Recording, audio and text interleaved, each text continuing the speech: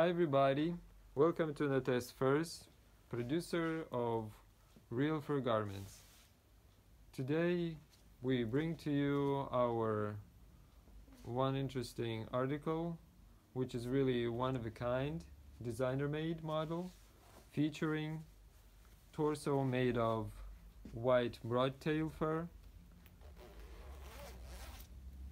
with uh, silver fox fur trimming dyed in dark blue color.